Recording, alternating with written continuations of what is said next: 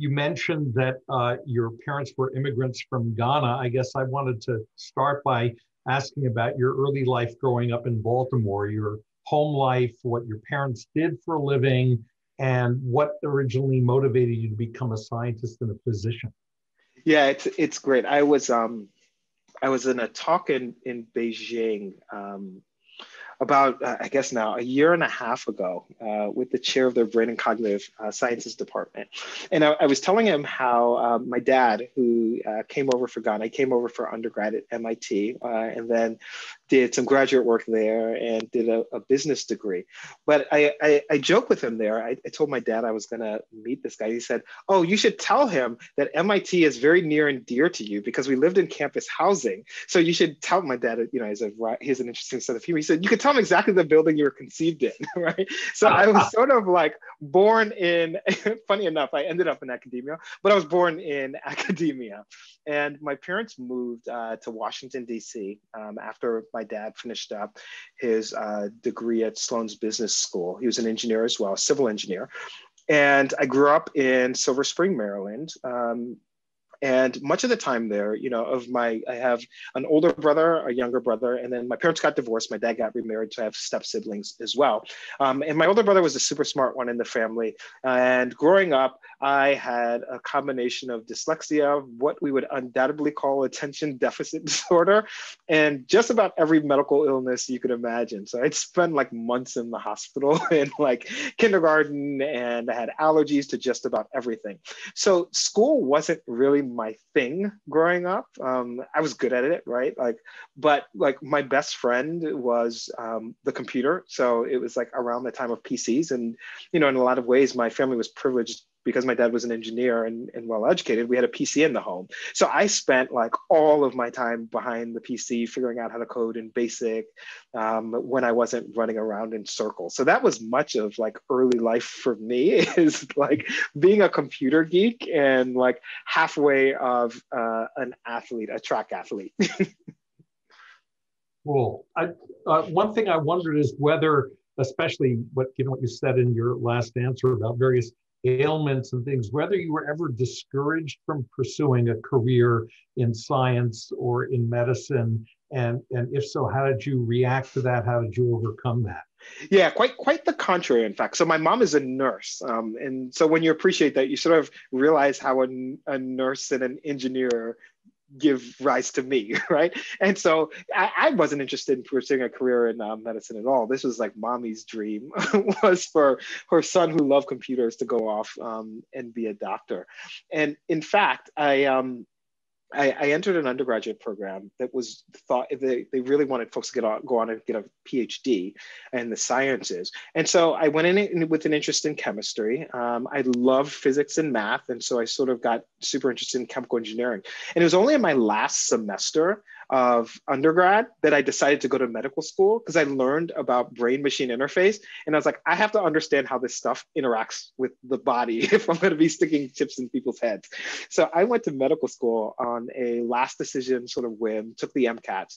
And I was actually in medical school before I realized there was a such thing as residency that you had to do after medical school. So medical school was quite the discouraging experience. As an engineer, uh, we were taught never to memorize things. And so medical school was awful. And I was more discouraged in medical school than I ever was thinking about going into it. I see. Yeah. Wow. Okay. Well, that should be a lesson to people who are thinking about uh, about that. Um, uh, a question uh, is is who are some of your most important influences and mentors have been, and how have they uh, shaped you in your approach both to science and also to activism? Yeah, so I, I will sort of frame this whenever I give a, a personal talk. I always um, orient it around two people because I think it helps a lot uh, to frame how I how I think about science more generally, um, and um, how I, I, think about the importance of the human condition in science, right? Both people and differences. So one of them is uh, Freeman Hrabowski. Freeman Hrabowski is the president of the University of Maryland, Baltimore County. He has been for 20x years. He became the president around 43. And he got together with a philanthropist in Baltimore. And the philanthropist in Baltimore, Robert Meyerhoff, um, realized that there just weren't like Black men in the sciences. So he basically gave money and they got together and they're like, we're going to create Black scientists and engineers. And um, the, they created the Meyerhoff program. In the second year, uh, they invited uh, women to join the program. In the eighth year, my year, they opened it up to all folks of all backgrounds and experiences wanted to go into science and medicine. Um, so I, I, Freeman was an important influence because I really had no idea what a PhD was, let alone thought about getting one, but he set up this ecosystem where it um, suddenly became the norm. And in my last year in undergrad, I had a bunch of hobbies because I get bored easily. So I um, ran track all the way through. Um, but in my last year, I was actually student body president. And so what this meant was I got a really up close and personal view of uh, Freeman's leadership.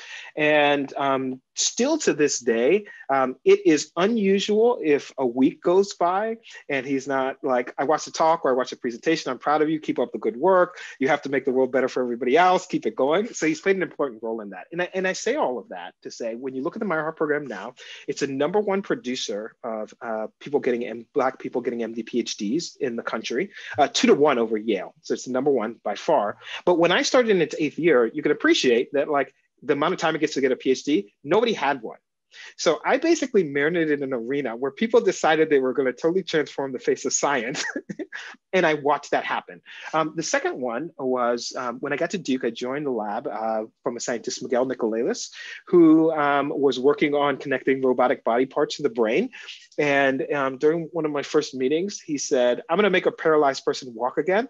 And I, I come from a religious background, so this seemed a little bit grandiose. This sort of thing hasn't been done in 2,000 years.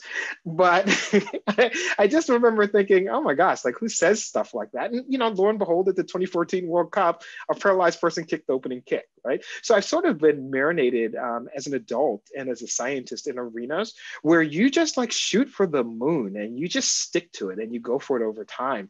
And I think in a lot of ways, who I am as a scientist and who I am as a leader and as a mentor is reflected at the intersection of that. Very good. So Miguel was an important influence as well. Yes. Yeah. Um, so so uh, related to these these two influences, uh, and I'm sure you get asked all these questions all the time, and I'm sorry for for repeating them, but no. they're the ones that come to mind. Uh, you're you're you're a role model and a national spokesman, and, and incredibly high demand. And so the question is, how do you balance your commitment to your community and your broader societal goals with your responsibilities and commitment as a physician and a scientist and a mentor to your own students and postdocs?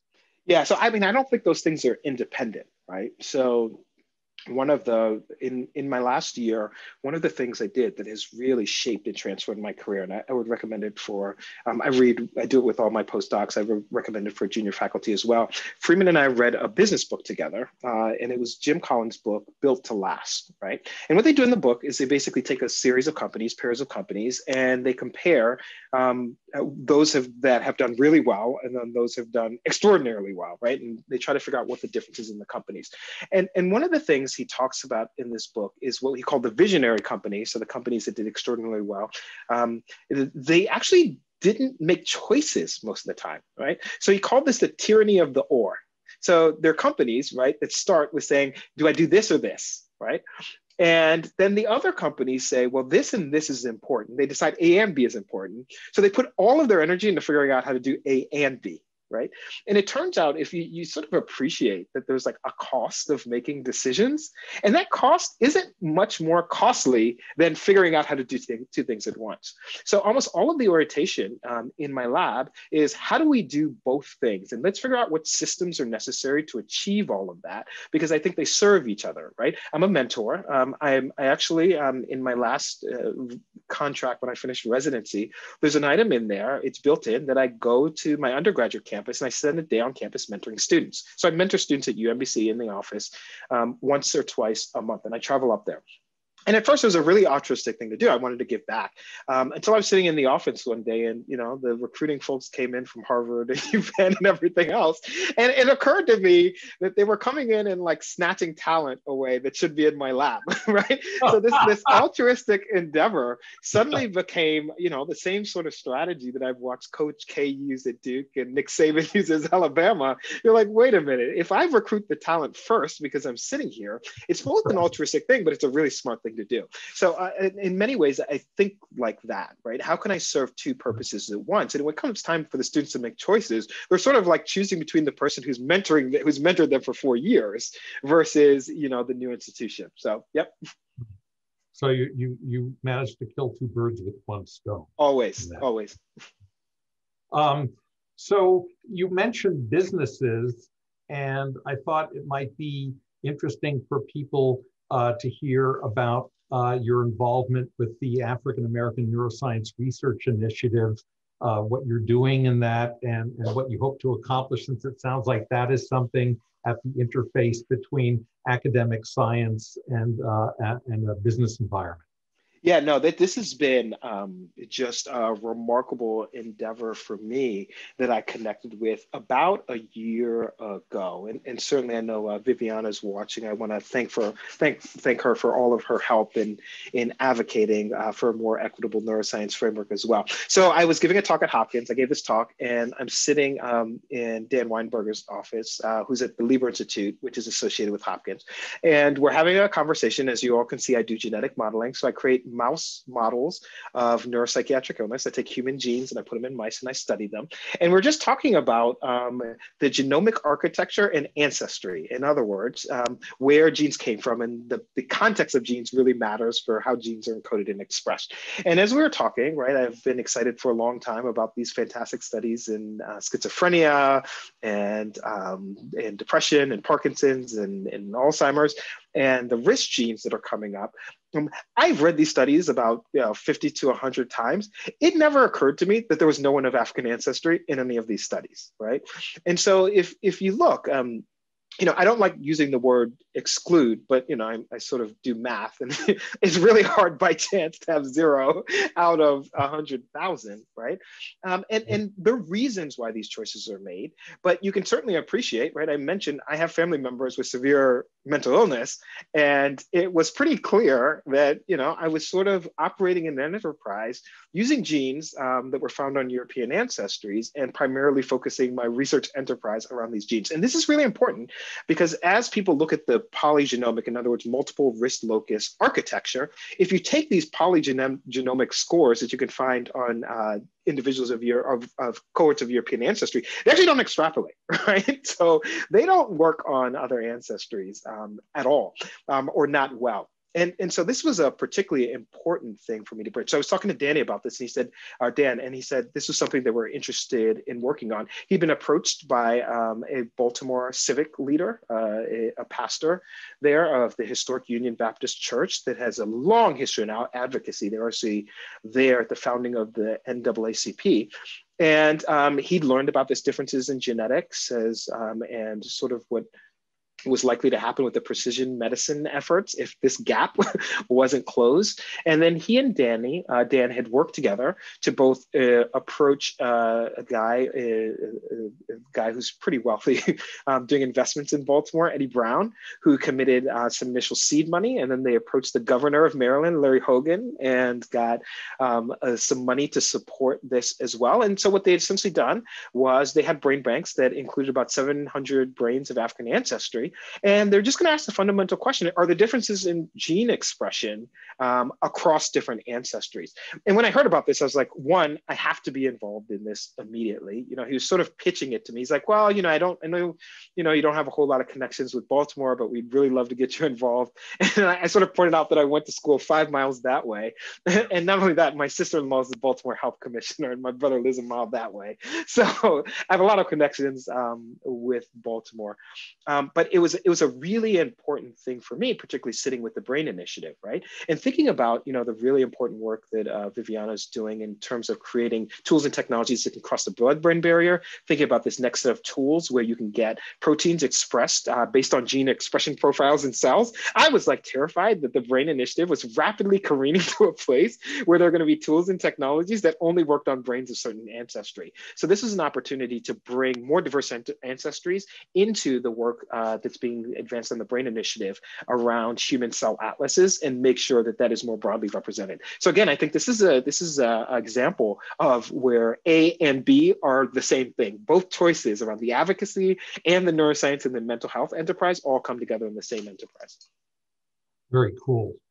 Uh, I have a question here uh, from uh, an undergraduate. Uh, could you talk a little bit more about your transition into medical school, how that experience is tying into your research? And the student who's interested in neurobiology research, but unsure about the path beyond undergrad. Yeah, so I, I, always say my career path is descriptive, not prescriptive. Um, and, so I could tell you what happened for me. It's harder for me to give advice to others because I had the most um, uh, difficult transition into medical school one could imagine, right? So I mentioned I was an engineer by background, convinced that you were never supposed to memorize things. Um, and our professors could tell on tests when we were memorizing things rather than deriving first principles. So I got to medical school and I thought, you know, because I really care about my classmates, I spent a lot of time educating them that they shouldn't be memorizing things. They should be learning first principles in biochemistry, uh, genetics, and cellular biology, all which we took in six weeks. And for some of them, it was a review. For me, it was the first time taking it. While studying for the first exam, um, which I clearly failed, um, I, I, got some checks in the mail, uh, some canceled uh, checks or some bills that the first one was about 1500 at Best Buy and then like, you know, 2000 at Lowe's. And they all had a driver's license number on it that was clearly not mine because I did not uh, have a driver's license in North Carolina. And so my identity got stolen my second week of med school, and someone charged about $35,000 to my name. so, so clearly there's this moment where I'm sitting there like, man, like I love computers. I don't really know what I'm doing here in medical school just because I'm trying to understand brain machine interface a little bit more. This seems like a tough ask. And I mean, I, I remember this one day, you know, I like medical school is hard on its own, let alone trying to deal with identity theft. You know, identity theft happens more often now. Back then, it was like there were not systems to set up. You had to spend two or three hours a day on the phone with each credit card company uh, so that it ru- didn't ruin your credit in your life forever. Um, and to put this in perspective, there was thirty thousand dollars charged to my name at the time. My stipend was seventeen thousand dollars. Oh. so I, I just remember the day I got in a car. I drove up from North Carolina just to clear my mind, and I ended my drive uh, in Owings Mills, Maryland, on the front porch of Freeman Hrabowski, um, just talking about how difficult the time was. And we essentially just sat there and talked for like three hours. And he was like, Look, I trust you. You're good. You will figure it out, but you have my full support in anything you wanted to do. And the next day, I just drove back and kept plugging away at it. Right. So, I, I, it, again, my my my my I present this in a way that is descriptive. I think it's easy to look now into what my career has turned into and assume that there isn't all of these monumental failures along the way.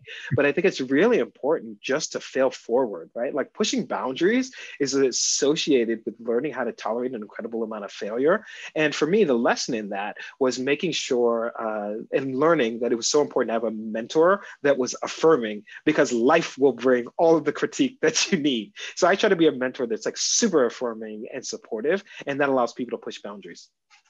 That's great. Um, uh, Viviana just writes, thank you, Cap, for showing us where we need to get in a way that one cannot not help or care. So very appreciative, as, as am I. Um, here, here's a question I was thinking of that um, might sound a little paradoxical, but uh, in, in thinking about all the issues that we deal with in science, uh, on the one hand, scientists pride themselves as being open-minded searchers for truth, and we typically run diverse laboratories with international students from all over the world. Question does that make it easier for you in your fight to make the biomedical research enterprise more diverse and inclusive? Or are there aspects of racism that you find paradoxically are actually harder to identify and overcome in science than in other features of human endeavor?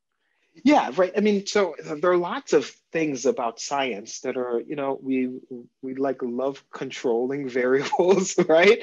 And we love reduction, um, and we love the idea of, you know, it's always fascinating as a neuroscientist and psychiatrist because we love believing that we're objective, right?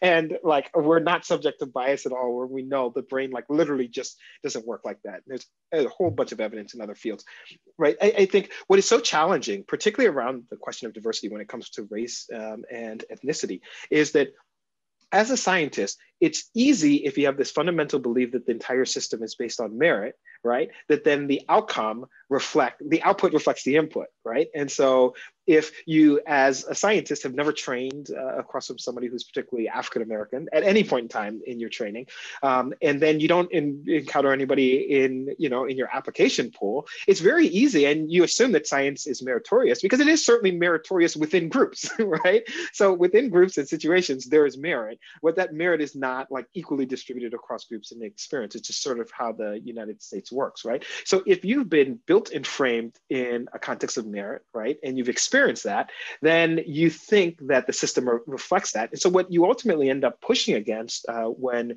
you're navigating uh, diversity issues, particularly with uh, diversity from inside of this country, you're having to push back against this idea that um, science actually isn't hasn't reached this optimized meritorious state because of factors that are built mm. all throughout the system, right, and that reflect the current outcome.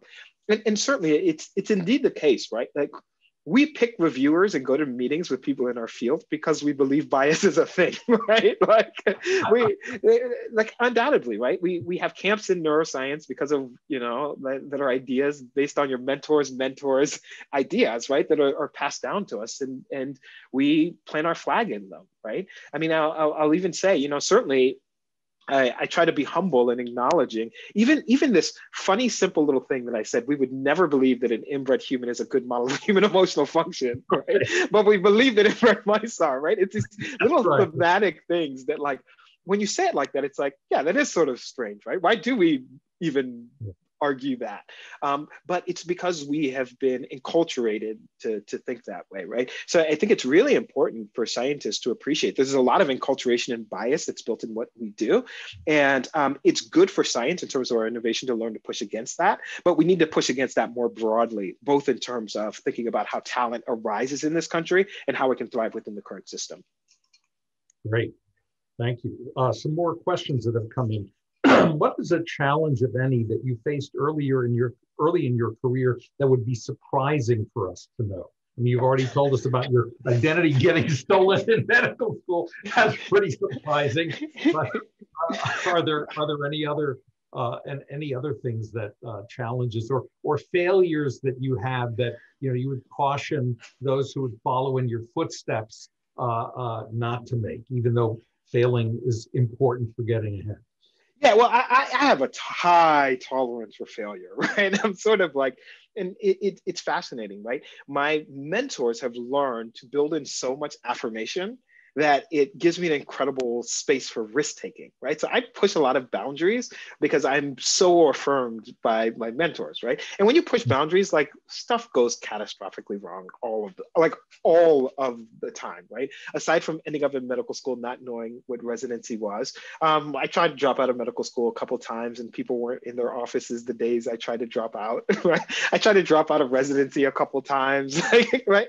So I, I'm not opposed to like life life being reorganized at key points in time, right? I mean, I had the early experiences uh, as that many scientists do when you work on a paper or grant. And some of my early grants, the, the comments were like, we're not sure if this is this guy's ideas, right? And, and like trying to navigate this stuff. Still to date, the best grants that I have written have never been funded, right? Like, so there's, there's a lot of that that is there's a lot of that that's just intrinsic, right? I mean, I, have reached a point where my ideas have penetrated more, but I mean, there were the early days when the comments would be, why would someone ever record that many brain areas, right?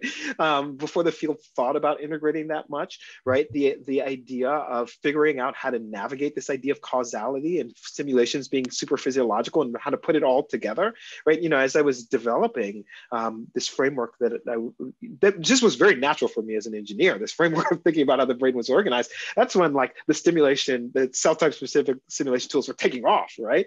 And so I was essentially going in a, a way that was orthogonal in a lot of contexts and figuring out how to navigate like not being laughed out of the field. so all of these things have been really sort of critical in, in learning how to na- navigate them and tolerate that. They're obviously the natural things. Um, and I've written about some of this um, in my writings of just like like I notice I'm different in the arenas that I go into. There's just no doubt about it, right? Um, and learning how to navigate some of that right? Um, and and everything to figuring out how to navigate both being different as an engineer um, and that different of that perspective but then the unique uh, individual experiences. So you know like it's as i'm thinking about like federal initiatives for me i'm like well how are we going to get more diverse talent in right? Because it's equally as a priority as the science and how are we going to think about like computation how are we going to prioritize that to the equal amount? And you know like most things are set up to make sure individual voices are represented, but not over people with a different set of experiences, right? It's sort of like 29 is greater than one or 40 is greater than one. So just figuring out how to be different um, in arena and hold my ideas. And, you know, I like people a lot. So that really helps because I like my colleagues like a lot, right? And so having some patience around that. But it, I mean, it's a challenge. It's a challenge being and thinking differently. Yeah, I get it. Uh, here's here's a uh, comment from one of our faculty, Cindy Hagan. Uh, she says, I love your appreciation for fostering a growth mindset in your students. What additional advice would you give to first generation college goers who may or may not know or appreciate the path towards graduate level education? Yeah, so I, I bring undergrad students and high school students into my lab all of the time. And I have a lab meeting. And um, I stop the last meeting and I ask them what they understand and what they think about what's being presented. And this is for two reasons. One, if we're going to do team science, um, people on the team need to be able to communicate in ways that other people dis- disciplines have. And so those that know nothing about the science are the most useful gauge. But then, secondly, I also point out that the person that is likely to be most innovative, if we communicate it in a basic, understandable framework, is the person who's never seen it before, right? So the longer we're in a field, the more our thinking becomes flex or fixed right? And the most innovative person is going to be the person who has never thought about it at all. So I even build into this idea that sometimes the best scientific experience is going to be in the high school student or the um, the undergrad who's sitting in the lab at the same time. As, as, as uh, David will tell you, I was totally obsessed with thinking about how to bring younger students into the BRAIN initiative because this has been most of my experience in the lab, right? I'm sitting there having a conversation and, you know, a high school student asked me the question and I'm like, yeah, that's like a lot how I think about it. And it's really hard to convince people in later sets of their training that this just makes total sense, right? So um, I, I think a lot about how to make people more comfortable with sharing their ideas in arena. That's great. Um, uh, one thing that uh, I, I, I, was struck by in, in the writings of yours that, uh, that I read is that you, you put a lot of energy into thinking about different strategies to address the discrepancy in NIH grant funding for Black versus white applicants. And I wonder if you could update us on the status of those efforts and whether there is any plan that is currently under consideration at NIH. Yeah, so and as as you can appreciate, having watched the talk, I put a lot of strategy in a lot of things, right? So I'm an engineer and I'm I'm super analytical, and you know, I, I wish I can turn my brain off, but it like never goes off, and I'm obsessed with numbers and strategy and models and and complexity. Um, and so um, to to the question, um, there was a study that was um, published in 2011. And what they did was they basically took uh, NIH funding across the architecture uh, for R1s. This has subsequently uh, been shown to still uh, be the case, um, but you can see this in R21s as well, um, the smaller research grants. And what they found was that if you were a Black scientist, um, even after controlling for uh, making sure you came from the same university, same publication record, same number of awards, you were less likely to get the research grant compared uh, to your non-African American uh, colleagues. And what this ultimately translated to, uh, if you counted it out, you basically had to apply for twice as many grants to get the grant. And you know, we can all sort of appreciate um, how painful it is to write twice as as, as many grants. And so I, have been thinking uh, for a long time since this was identified. You know, part, part of the NIH strategy, it's thought a lot about how to um, mentor Black scientists um, in a different way and mentor diverse scientists more broadly in, in the system. Um, it's put a lot of energy and effort into studying and trying to understand the differences um, that lead to this and what are the key variables. And the point I made there is that it is certainly the case that like primary education is challenging in this country right? We're sort of we're like what 34th in the world in terms of math. This is like even worse uh, for folks from diverse backgrounds. Um, college is bad right? Like what like 30 25% of americans get a college degree right? Um, less than that get a phd you basically got individuals who are black through all of that and that they're at the end right?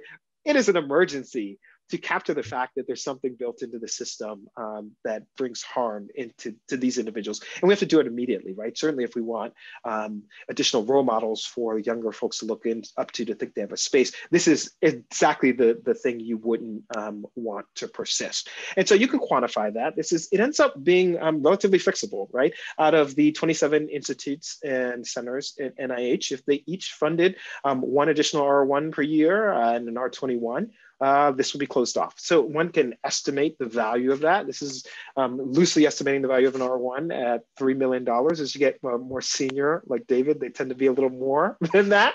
But over five years, uh, I think $3 million, um, about a third of that being for indirect costs. And so at 25 grants at $3 million is $75 million. Over 10 years, it's $750 million of underinvestment, right? So that's the starting point of underinvestment only in Black scientists, not thinking about how to diversify the workforce more broadly broadly, only in Black scientists. So NIH is, is thinking about how to address this. Um, they've launched a new program. It's called the FIRST Grant, NIH FIRST. And the idea is to encourage universities across the country to hire more diverse faculty to um, from to and NIH is basically paying half the startup costs, and you have to compete for it uh, to get a, a, number. And of course, Caltech should be thinking about applying for these grants too. Um, and um, but what's important is that the investment in this grant, one, it is not targeted to addressing the additional issue, right? So it's for folks of all diverse backgrounds and those interested in making uh, diversity, increasing diversity in the sciences. Uh, so it's not targeted. Um, I don't think that's a problem. I think it's important to address that part of the system as well. Um, and then it's also $240 million over 10 years, right? So we're saying $750 million of underinvestment specifically in Black scientists and 240 $40 million of investment um, going forward. And that gap uh, that I described in Black scientists still haven't, hasn't been closed, so it's growing right? Um, and so a lot of people have been thinking about this. I've been working on a new piece. Uh, hopefully it'll come out soon. It's uh, with some former uh, leaders in academia and in NIH, really outlining what our country needs to do to address that issue um, and think about diversity in the sciences more broadly, the type of investments that our country needs to make. And I'm hopeful about this. The new administration has asked all the federal agencies uh, to identify systemic racism in their system and how to address and root it out. So I think um, it, it, the community is at a place, the, the neuroscience community um, and the scientific community is at a place more broadly where we've realized um, one, um, this is like not right and fair, right? But secondly, it's also like not super smart, right? As our country becomes more diverse over time, to not figure out how to mine the talent in your country, right? This is sort of my Meyerhoff strategy. I figured out how to mine a talent pool, and our country is doing an awful job in figuring out how to mine its talent pool. And ultimately, this means we're going to get crushed in the global arena if we don't figure out how to solve this, right? So I think there's a lot of work that needs to be done in this area. Yeah. So, so just following on from that, uh, uh, of course, it makes sense to uh, try to work with NIH as you're as you're doing to liberate more money, uh, but also have some extremely high net worth individuals in this country who are philanthropists, and some of them, like Mackenzie Scott, uh, Jeff Bezos's former spouse, uh, have really uh, made a number of gifts to historically yep. Black undergraduate colleges and, yep. and universities. Have you thought about uh, trying to fill this gap that you're talking about, the 240 versus the 750 yep. million, by uh, approaching high net worth individuals and looking for private philanthropy? And And so, how, how, how would you go about this? Yeah, I, I, I would love an introduction. Uh, please pass on my email information. I am I am always ready uh, to connect and talk about this. As you know, uh, Mackenzie Scott made investment in uh, HBCUs, historically Black colleges and universities, um, to the tune of uh, some of one of them um, in which uh, the African ancestry neuroscience research is connected with to the tunes of tens of millions of dollars, right? So I do think that this is a strategy for addressing this. I think classically people think about the earlier parts of training. Um, and my hope is that as we sort of appreciate um, the impact of COVID-19 uh, that and the disproportionate impact on uh, individuals of uh, Hispanic uh, Hispanic individuals and Black individ- Black communities that one would realize that those that are at the research bench thinking about cures and treatments for diseases that is a really important target that has to be addressed right now. So that that's a that's a that's a great um, strategy. And again, if there's anybody listening on the call who knows how to make those connections, I'm happy to talk to them about the role of those investments in transforming uh, our country. Importantly, as they're funding those undergraduate students, these are going to be the mentors and the role models that those undergraduate students look to. So they play an important role in the system. Great, great. And, and uh, along those lines, I guess uh, one of the things I wanted to ask is whether there's a particular message or messages that you have for Black students and students of color who would like to emulate your success and follow in your footsteps? What would you advise them to do and not to do? Yeah, so first of all, do not follow in my footsteps. It, and and and do not emulate my success right? Like find your own path in all of it right? I mean in in every way shape or form. My lab just looks a lot like who i am as a human being right? And I, have continued to figure out how to find myself in arenas and find the supports that are necessary for me to thrive in the unique way uh, that i grew up right? But I, I will give uh, some critical advice on how to learn to be yourself in a system and um, this this and i always put it this way right? If you wanted to go to into investments and um, warren buffett was willing to meet with you for 45 minutes um, but you had to go to mumbai to get, to get this meeting every single person that was serious was hop on a plane for 45 minutes, right? And um, the one thing that has been the case uh, with my career throughout is that I am passionate about finding mentors, right? And whenever I'm meeting with students, I, I joke about this because I don't mean this seriously, but I always say students need to learn how to stalk a mentor.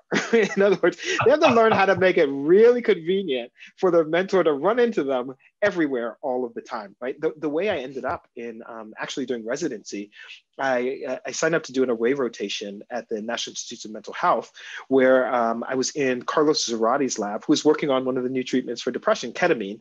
And while I was up there, I just emailed the director, uh, Tom Insel, and I said, hey, I'm an MD PhD student. I'd love to talk to you about careers in science. And he emailed me back like 45 minutes later. We had lunch and he you know he during that conversation he said i really think you know you're an engineer you're thinking about brain machine interface we have a horrible history of psychosurgery in this country and you should really do psychiatry residency because then both people should trust you but then you also appreciate the nuances of human behavior that you wouldn't always appreciate if you were just thinking about pre preclinical models all the time. And i told tom i said it's residency it's cool and all but like everybody has to stop doing research for like four years. And like i'm like i'm totally a lab rat and i wasn't willing to stop doing research for four years to get clinically trained. And so he asked he said well how would someone like you do residency? Right? It's this fundamental question of how would we create something that works for you rather than how do you fit into the system? And mm-hmm. i said well you know it's sort of like start my research lab right now and I do residency part time. And it was like a bit of a joke. and Tom was like, oh, that sounds like a really cool experiment. We should do that experiment.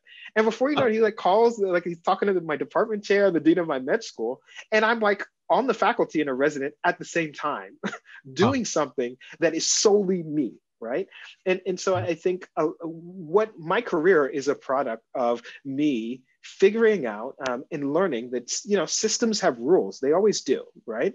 Um, but there are those that make rules and can change rules. And so it's really important to find mentors build relationships with them and, and certainly you know you got to work hard and, and build trust but they will find opportunities to change the system to make it work better for you. And any system that is built for an individual, that individual will thrive in it and do much better, right?